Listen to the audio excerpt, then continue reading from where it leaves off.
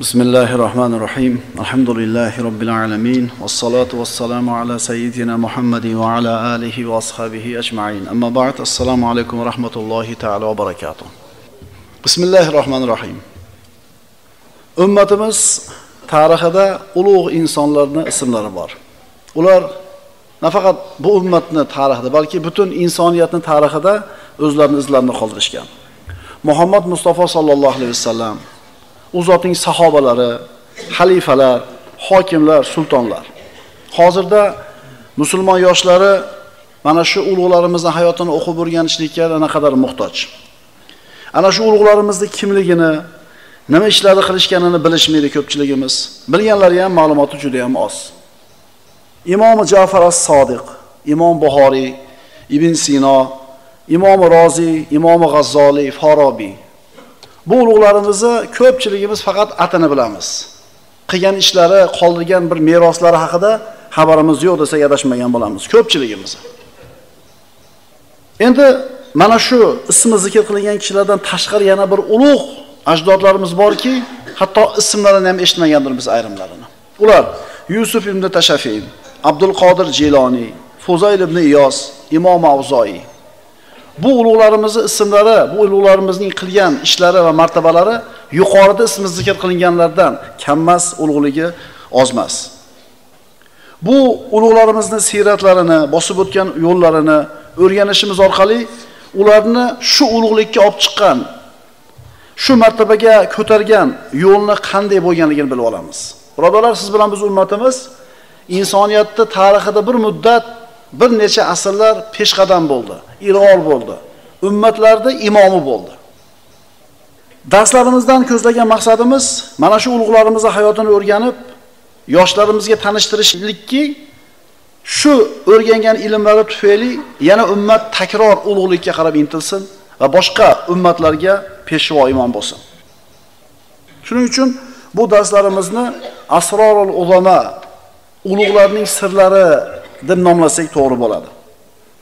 Mana shu sirlarga siz bilan biz shu kunda birodarlar juda ham bir muhtoj bo'lib turibmiz. Ummatimiz ulug'likni barpo qilgan insoniyatga peshqadam imom bo'lgan ummat edi. Lekin taassuf keyingi asrlarda birodarlar bu ummatlarni orasida orqada qolib ketdik. Orqada qolib ketdikki ana shu adashlikda uzoq bo'ldik. Musulmonlarni ayrimlari tushkunlikka tushdi. Hatto ayrim boshliqlar yozuvchilar shoirlar siyosatchilar yechim tariqasida falon millatga bir ergashishlikni taqlid qildi. Aytishdiki agar siyosatimizda falon mamlakatda ish tutsak agar iqtisodimizda falon davlatga o'xshagan bir e, ish ishni qilsak yoki bo'lmasam ilm fanda anavi yurtga o'xshasak bo'lar edi deb turib taqlid yo'lini taklif qilishyapti. Lekin birodalar, hayhot muqallid xalq boshqalarga taqlid qiladigan ummat hech qachon o'g'rilikka yuksaklikka yetmaydi. Boshqalarni yo'lini o'ziga yo'l deb qabul qilgan ergashgan ularga tobe bo'lgan o'zini mustaqil yo'liga ega bo'lmagan xalq hech qachon ilg'or bo'lmaydi hech qachon peshqadam bo'lmaydi. Lekin taassuf hozir shunaqa bo'lib qoldik. Kiyinishimizda kimlargadir o'xshayapmiz yurish turishimizda kimlargadir taqlid qilyapmiz biz o'zimiz tomirini yo'qotib qo'ygan bir ko'katga o'xshab qoldik.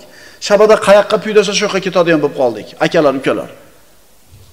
Bu yo'l bilan birodarlar vatanda azizligi ummatni ulug'ligiga hech qachon yeta olmaymiz erisha olmaymiz. Ummat uchun faxrni azizlikni yuksaklikni peshqadamlikni shu elni ichidan chiqqan insonlar paydo qiladi. U shunday insonlar bo'ladiki shu paytgacha hech kim qilmagan ishni qiladi. Yangi narsani olib keladi va mana shu yangi narsa bilan ummatini xalqini ko'taradi. Agar shu yo'lda ushlasak o'sha ajdodlarimiz qoldirgan merosni mahkam ushlasak shunda xuddi avval bo'lganidek ummatlarning imomiga peshvosiga aylanamiz.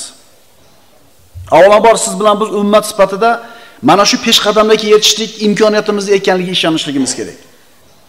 Chunki ishonmasak hech qachon bu narsaga yetolmaymiz. Siz bilan bizni ota bobolarimiz ajdodlarimiz butun insoniyatga ustoz bo'lgan odamlar. O'shalarda qon tomirlarda oqqan qon siz bilan bizni tomirlarimizda oqyapti faqat buni ko'tarish kerak parvarish qilish kerak tarbiya qilish kerak yo'lini ochishlik kerak. Qachongacha bu ummat hamma ummatlarni orqasida yuradi? Taqlid yo'lini tanladingmi ilm ma'rifatni esdan chiqardingmi? Pul bo'lsa bo'ldi, tushuncha kallamizga kirib qoldimi? Lekin birodarlar, siz bilan biz ota-bobolarimiz bunaqa bo'lgan emas.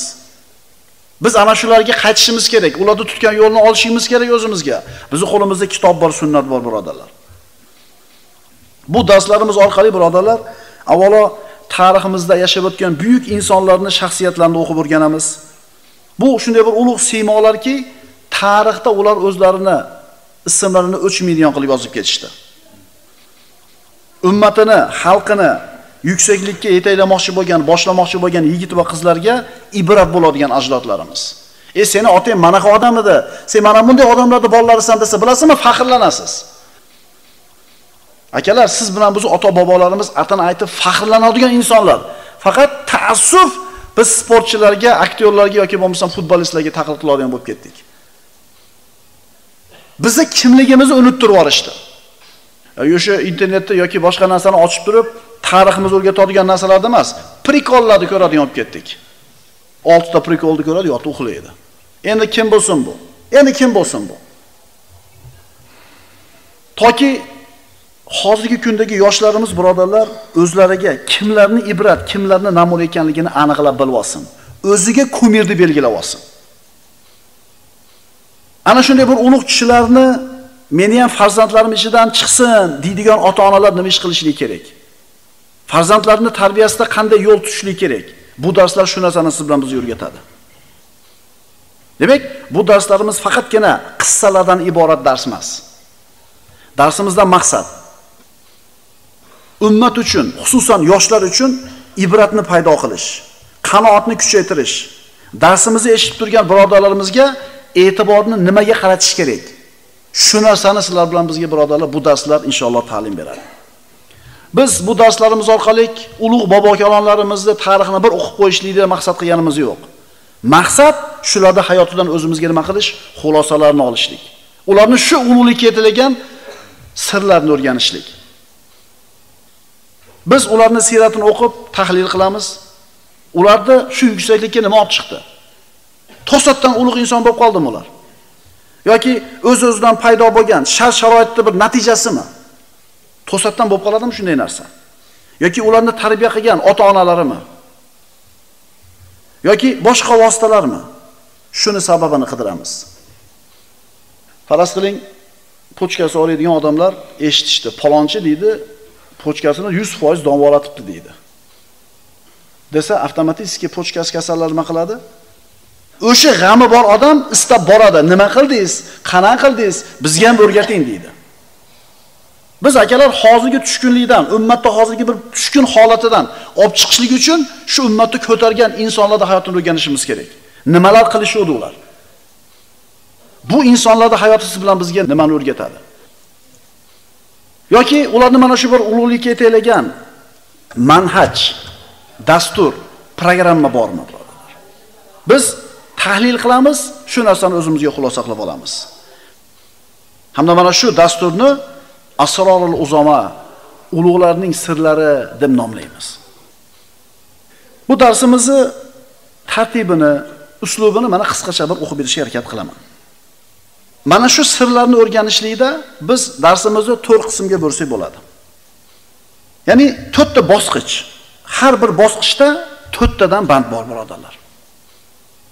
Ja'far as-Sodiq, Imom Buxoriy, Ibn Sino, forobiy Bu insonlarni o'z-o'zidan tasodifan paydo bo'lib qolgan desak, albatta xato qilgan bo'lamiz. Mana endi shu ulug'likka, shu yuksaklikka yetaydigan to'rtta bosqich. Birinchisi boshlanishdagi uchqun. Unda to'rtta band bor. Ikkinchisi yo'nalishni ko'rsatish. Bunda to'rtta band bor. Uchinchi bosqich o'rganish, ilm olish bosqichi. Unda to'rtta band bor.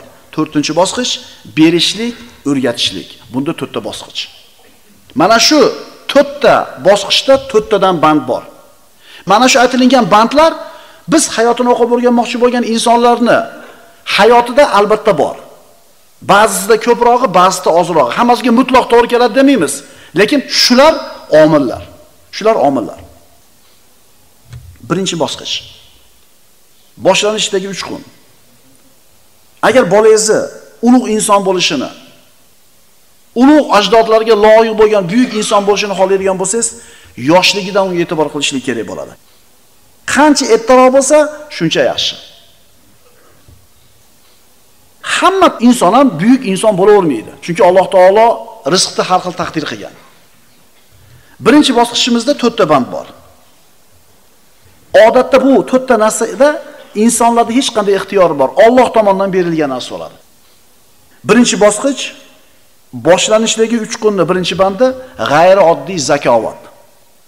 Genial aql. Shunaqa bir aqli zo'r, o'g'ilmi, qizmi, shunaqa aql egasi ekanligini ko'rdingiz bolangizni. Qattiq ehtimom qilishlik kerak. Chunki bu aql bu ummatga berilgan Allohning hadiyasi. Shunaqa aqli, zehni zo'rligini ko'rdingizmi bolani? O'qishiga e'tibor bering birodar. Agar o'qib nima bo'ladi, bor hunarni qil, bor bolni hayda deb turib, shu aqlni zoyi qiladigan bo'lsangiz qiyomatda javob berasiz. Bilasizmi bolangizni zehni zo'rligini? Bir marta eshitib yotlab oladi. Quloqni bir chekasi bilan eshitib turib yotlab oladi bir narsani. Xiyonat qilgan bo'lasiz ummatga nisbatan. Shunaqa farzandni bunaqa aqlini zoyi qilsangiz Ikkinchi bandimiz xos iqtidor, talant. Talant. O'zi har bitta insonga Alloh taolo qandaydir bir iqtidorni beradi, qandaydir talantni beradi. Faqat odamlar shu talantni o'zida borligini bilmaydi. Shuni kashf qila olmaydi va undan foydalana olmaydi. Demak, boshlanishi 3 kundagi birinchi band aql, g'ayrioddiy, ikkinchisi iqtidor, talant. Uchinchi banda xos shart sharoit. Nima u desa, yetim bo'lish ekan birodarlar. Mana shu ulug'larimizni ko'pchiligi otasi yo'q yetim bo'lgan. Nima uchun ulardan chiqadi desa, ertaroq katta bo'lgan ular. Ertaroq mas'uliyat tushgan ustiga. Otasini hisobidan kun kechirmagan, hamma muammosini otasi hal qilib bermagan, ertaroq mas'uliyat yelkasiga tushgan, ertaroq katta bo'lgan. Tushunarlimi? Erkinligi qo'lida bo'lgan, qarorlarni qabul qilishlik yoshligidan yelkasiga tushgan, ertaroq ulg'aygan. Bu degani otasi bor farzandlar ulug'likka yetisha olmaydi degani emas. Lekin otasi yo'q farzandlarni boyaga aytgandek ertaroq hayot yelkasiga yuk qo'ygan bo'ladi. Chunki otasi bor farzandlar hamma yo'g'ini otasi hal qiladi. Nima kiyishini ham u hal qiladi, qayerda o'qishini ham otasi hal qiladi, har qanday muammosini hal qilib beradida erkinligi yo'q. Sen doktor bo'lasan, sen dedi advokat bo'lasan dedi. Bo'ldi. U xohlayaptimi, xohlamayaptimi? Tushunarliga? Shu xos sharoit deganda yetimlikni tushunamiz. Imom Buxoriyda ham otasi o'lib ketgan ekanlar yoshligida. Ikkinchisi xos oila. Mana shu 3-bandimizning ikkinchi holati xos oilaki, olimni oilasi, professorni oilasi, qo'mondonni, rahbarni oilasi. Mana shunday oiladan chiqqan farzandlarning 90 foizi bir hayotda nimagadir erishar ekan. Ha, ular ichida kayf safoga berilgan, maza bemazasi chiqib qoladi. Faqat 10% ekan unaqalar. Uchinchisi xos ta'lim tarbiya. Demak, boshlanishlik uch kunida birinchi narsa nima bo'ldi? G'ayrioddiy aql, ikkinchisi iste'dod, talant, uchinchisi xos shart sharoit. To'rtinchisi xos ko'mak. Unga shu bolaga yordam berilgan, yo ota-onasi tomonidan, yo bir shayxi ustozi tomonidan. Mana shu narsa bolalik davrida bo'ladigan holat. Demak, birinchi bosqichda g'ayrioddiy aql, ikkinchisi xos talant iqtidor, uchinchisi xos shart sharoit, to'rtinchisi xos ko'mak. Bolalik davridan o'tdik. Ikkinchi bosqich. Yo'nalishni ko'rsata berishlik. Birinchidan, buni birinchi bandi rag'batini aniqlab olishlik kerak. Bolangiz nimani yaxshi ko'radi? Qaysi ishga muhabbati bor? Inson o'zi yaxshi ko'rgan narsa bilan shug'ullansa, ulug'likka yetadi. Agar kimdir mana uni qilasan deb ota-onasini majburiyat bilan qilsa, unda ham bir narsaga erishar, lekin yuksaklikka yeta olmaydi. Ikkinchi bosqichdagi ikkinchi bandimiz o'sha farzand o'zi uchun yo'lni aniqlab olsin. Masalan, advokat bo'laman desin, faqih bo'laman desin, arxitektor bo'laman desin va mana shu narsaga olib boradigan ishlar bilan shug'ullansin. Uchinchisi, tarkiz. Rag'batini aniqladi, o'ziga yo'lni belgiladi. Endi mana shu ishiga butun fikrni markazlashtirsin. nima deydi, sochilmasin. Bitta sohani o'ziga aniqlab belgilasin va faqat shu bilan shug'ullansin, to bir cho'qqisiga yetgunicha. Yigit kishiga yigit kishiga shu gapimizga to'g'ri kelyaptimi, kelmayaptimi? Biz hunar deyapmiz. Ya'ni shu sohani zo'r o'rganib bo'lgan odamni aytamiz hunarmand deb. U cho'qib-cho'qib ketadigan emas. Yigit kishiga 40 hunar oz degani, bitta hunarni zo'r o'rgandimi? O'rganda, endi keyingisiga o'tsin. Yoshlar tushuninglar shuni. Cho'qurmanglar. Ustinglar sizlarni ustilarga chiqib o'tirib olmaydi, o'zi duo beradi. Bor endi boraver, qolganini o'zing o'rganasan deydi. Demak, ikkinchi bosqichdagi birinchi ish rag'batni aniqlab olish, o'zi uchun yo'lni aniqlash va mana shuni ustun qilish fikrini markazlashtirishligi. To'rtinchisi maqsadini aniqlab olsin. O'qish tugasam shu fakultetda o'qituvchi bo'laman, yo dekani bo'laman, yo rektori bo'laman, yo vazir bo'laman. birodarlar u balandroq narsani mo'ljallash kerak. Balandroq narsani bizchi kimni hayotini o'qiymiz? u ministr bo'lgan, dekan bo'lgan, boy bo'lgan odamlardan ko'ra oliy martabaga erishgan, hayotda, tarixda, insoniyat tarixida atini yozib qo'yib ketgan odamlarni o'qimoqchimiz hayotini. Bu o'rtachalikka ko'nmaslik kerak. O'rtachalikka ko'nmay 200 metrga mo'ljallab oting toshdi. Yetmaganda ham 150 metrga tushadi. A bizga bo'ladi. Shu sal bir tirikchilik o'tkazadigan narsani qilib olsam, o'sa olmaydida. E bilasizlarmi? Mana Mercedes korporatsiyasi hamchi bitta ustaxonadan boshlagan. Mana Adidas degan brend bormi dunyodagi? Aka-uka kosiblar bo'lgan yamoqchilar. Qarang qanaqa brend. maharli Harley Davidson bor-ku, garajdan boshlagan ekan ishini. Mana shu katta dunyo tanigan korporatsiyalarni asli garajdan boshlangan ekan ishi. Haligi ofis ololmagan yoki qandaydir bir territoriya sotib ololmaganidan. Qaranglar qanaqa bo'ldi. Nimaga bizdan chiqmaydi? Nimaga bizdan chiqmaydi? Demak, ulug'likka yetaklaydigan ishlarni birinchi bosqichi boshlanishdagi 3 kun, ikkinchi bosqichi yo'nalishini ko'rsatish, uchinchi bosqichi o'rganish, ta'lim olish bosqichi. Buchi birodarlar 30 yoshgacha bo'ladigan ishlar. 30 yoshgacha bo'ladigan ishlar. Uchinchi bosqichimizni birinchi bandi ilm talab qilish. O'zingiz bir sohani tanladingiz, shu ilmni mukammal suratda oling.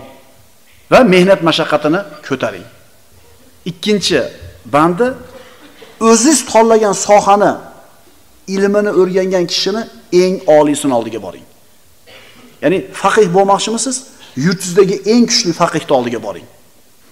Ma'qulmi? Qori bo'lmoqchimisiz? O'zingiz shahringizdagi eng kuchli qorini oldiga boring. Shunga tenglashishga harakat qilasiz. Bilasizlarmi, sportda raqibingiz qanchalar kuchli bo'lsa, u futbolmidi, tennismidi, kurashmidi, raqibingiz qanchalar kuchli bo'lsa, siz o'sha darajada bo'lasiz. Nima demadinglar? Endi haligi chempion Messi o'ringa deydi, mahallani chempionisiz, mahallada hammani yutaverasiz, lekin qishlog'ingizdan tashqariga chiqa olmaysiz.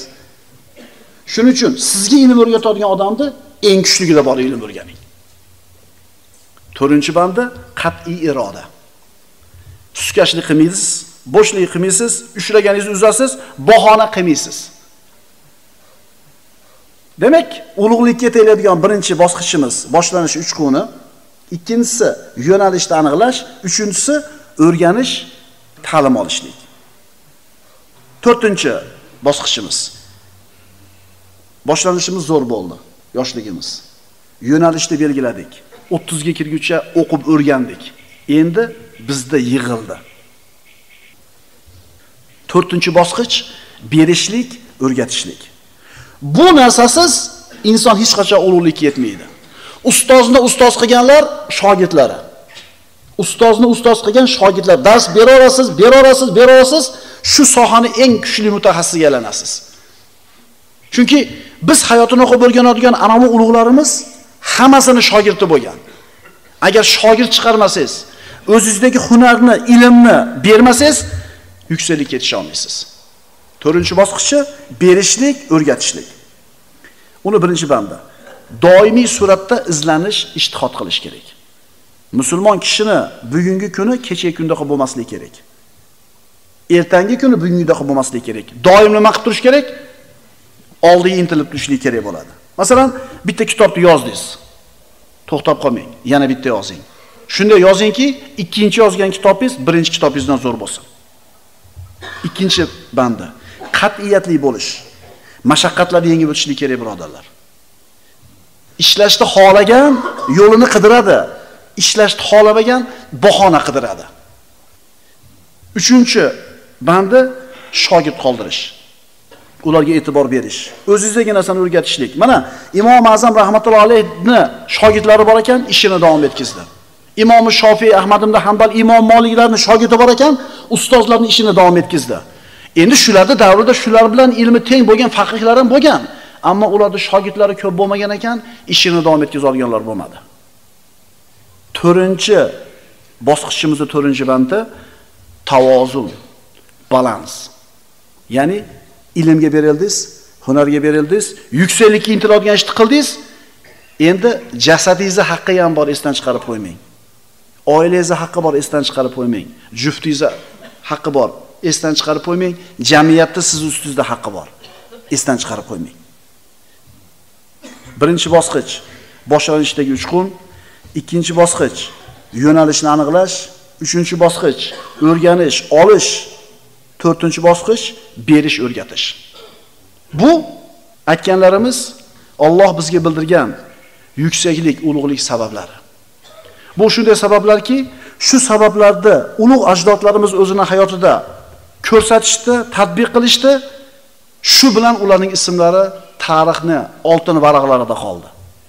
Agar biz ham ularning yo'liga ergashsak, ularda bosib o'tgan yo'lini bosib o'tsak, ummatni ulug'iga aylanamiz. Ummatning ulug' insonlari. Ularning siyratlarini, hayotini o'qib o'rganishlik bizga rohat. Endi yuqorida zikr qilib o'tilgan sabablarni mana shu ulug'larimizni hayotida qay tariqa bor bo'lganini ko'rib chiqamiz. Shoyat olgan ilmimiz bizni ular tomonga yetaklasa. Shoyat xuddi avvallari bo'lganidek bizni oramizda ham insoniyatga ustoz bo'ladigan insonlar yana chiqsa. Alloh subhanahu va taolo mana shu boshlagan darsimizni xayriyatli, barakotli, foydali qilgan bo'lsin va Ibn Sinolar, Mirzo Ulug'beklar, Farobiylar, Buxoriylarni yana siz bilan bizni oramizdan chiqishligini Alloh taolo tavfiqini bergan bo'lsin. Aqulu qawli hada va astagfirulloh li va lakum